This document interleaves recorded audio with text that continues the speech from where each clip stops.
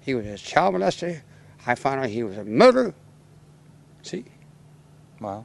See, I'm not talking weird or crazy. I know everything's I'm crazy. I'm not. I see things.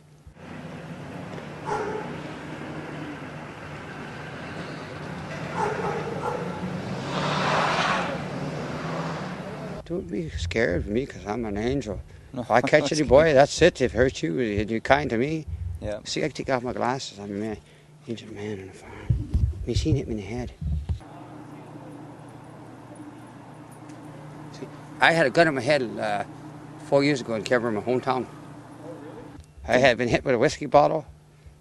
I was a bootlegger, everything. No more.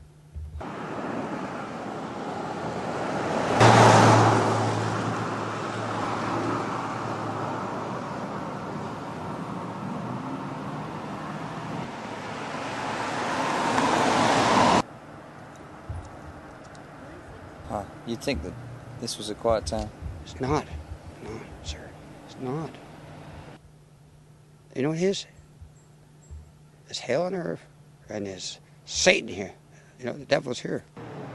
See, I see more death in my in this town than my town.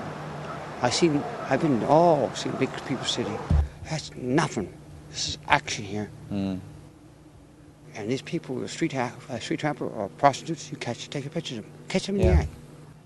See, just down here, it was uh, apartment down there. Oh, this uh, other place down here, the light brown apartment. Oh yeah. There's five guys with drugs there. You wasn't here. Take a movie on all the drug addicts. Catch them. I will. It's called tips, eh?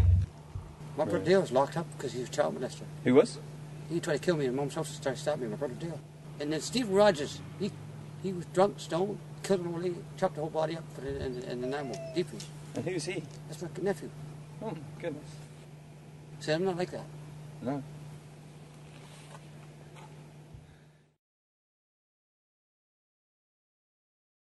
And you take a movie star, make a make a movie out, put it on Yeah. TV, thousand words a second.